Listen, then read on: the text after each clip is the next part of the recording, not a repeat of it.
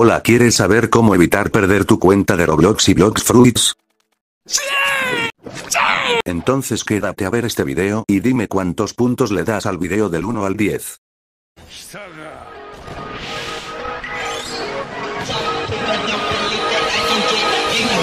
I'ma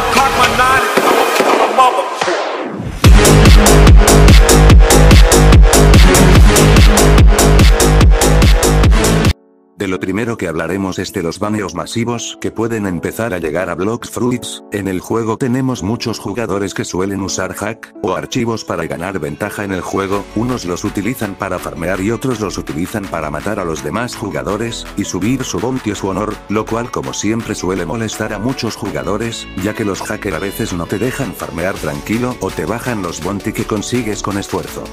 Yo no suelo culpar a las personas que usan archivos para subir de nivel, en sí lo que más molestan son lo que utilizan esos programas para derrotar a los demás, ya que una parte de la culpa de que haya hacker puede tener la Blox Fruits, solo imagina que a alguien le roban su cuenta, y después que consiguen todas las cosas que son muy difíciles de conseguir deben empezar desde cero, en Blox Fruits donde aunque sea un juego con potencial es aburrido, ya que lo que más se hace en el juego es farmear y farmear, tener que empezar desde cero y subir por ejemplo sea 3, tomaría mucho tiempo, y por eso es que considero que aunque no sea correcto muchas personas utilizan hack, porque tienen que empezar nuevamente y no hay más nada en Blox Fruits que farmear.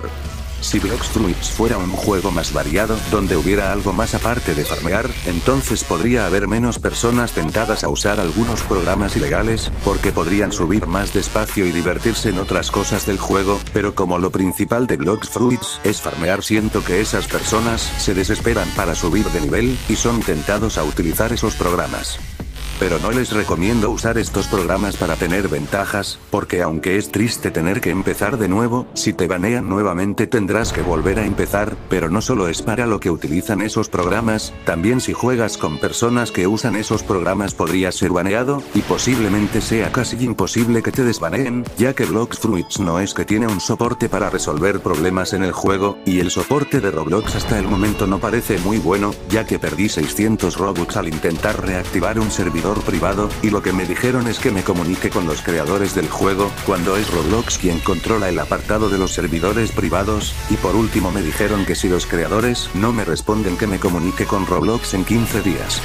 En definitiva no les recomiendo utilizar esos programas para tener ventajas en el juego. Este otro problema es muy común en los juegos, y es el motivo por que algunos son tentados a usar hack, en la mayoría de juegos en los que hay que loguearse con un correo y contraseña, o mejor dicho juegos en línea, siempre hay jugadores que intentan robar cuentas a los demás, quizás porque no quieren esforzarse para conseguir las cosas, o simplemente porque quieren algo que ya no se puede obtener en el juego, y entonces se dedican a engañar a las demás personas para robarle la cuenta, y eso es lo que quiero que a ustedes no les pase, por eso lo primero es que no le pasen la cuenta a nadie, incluyendo a amigos que conoces por internet y que no conoces en persona, solo ustedes pueden saberse la contraseña de su cuenta, y verifiquen el correo electrónico de su cuenta para que su cuenta esté más segura.